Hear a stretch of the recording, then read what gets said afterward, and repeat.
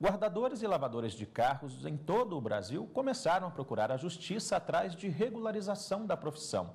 Das 27 unidades da federação, apenas duas reconhecem os flanelinhas. São 33 anos cuidando de carros no centro de Brasília. Hoje a confiança é tanta que seu Valdivino recebe por dia uma média de 200 chaves. Eu trabalho aqui já tem 33 anos e eu acho legal a minha profissão, entendeu? Eu adoro meus clientes, entendeu? Eu me sinto, no dia que eu falto aqui, eu, entendeu? Eu sinto assim, mas é uma família, cara. Então, família a gente tem que ter amor. E já tem gente que deixa o carro aos cuidados de seu Valdivino há 10 anos. Deixa a chave com ele, é de minha inteira confiança.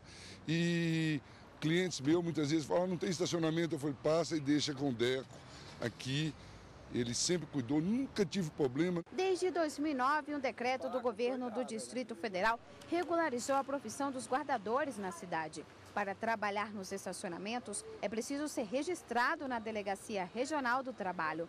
Os chamados flanelinhas devem apresentar documentos pessoais, além dos nada consta criminal, eleitoral e outros. Atualmente, mais de 2 mil estão regularizados. Eles possuem um registro, né, um registro da profissão, que eles retiram na Superintendência Regional do Trabalho. Né? Então, o governo do Distrito Federal reconhece esse registro e tem uma atuação integrada com a Secretaria de Estado de Ordem Pública e a SEDEST, que é a Secretaria de Desenvolvimento Social. Mas, na maioria dos estados, a profissão de flanelinha não é regularizada. No Rio de Janeiro, por exemplo, a Justiça suspendeu um habeas corpus coletivo que permitia a atuação dos guardadores de veículos no município de Volta Redonda. O habeas corpus concedido em outubro de 2012 a pedido da Defensoria Pública também impedia a atuação dos policiais. Segundo uma operação realizada na cidade, guardadores estariam cometendo crimes como roubos, furtos, ameaças e extorsões. O pedido da suspensão da liminar foi feito pelo Ministério Público do Estado. Foi uma decisão que revogou o livre direito de ir e vir